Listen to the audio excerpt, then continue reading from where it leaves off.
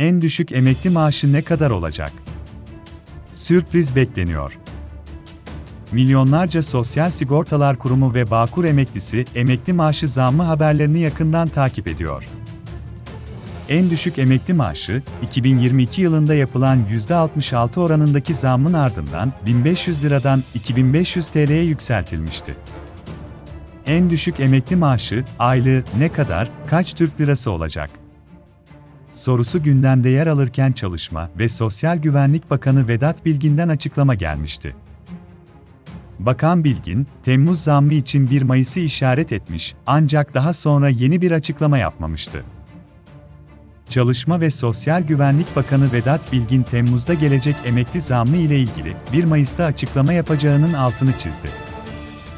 Ancak 1 Mayıs'ta beklenen açıklama yapılmadı. Memurlara %30,5 oranında zam yapıldı. Memur maaşlarına toplamda %28 oranında bir artış uygulandı. Memurların toplu sözleşme zammını da %7,5 olarak uygulama kararı aldık. Bakan Bilgin'in en düşük emekli maaşı hakkındaki açıklaması. Temmuz ayında bir sürprizimiz olacak, en düşük emekli maaşı artacak. Detayları 1 Mayıs'ta açıklayacağım. Emekli bayram ikramiyesi 27, 28, 29 Nisan günlerinde hesaplarda olacak.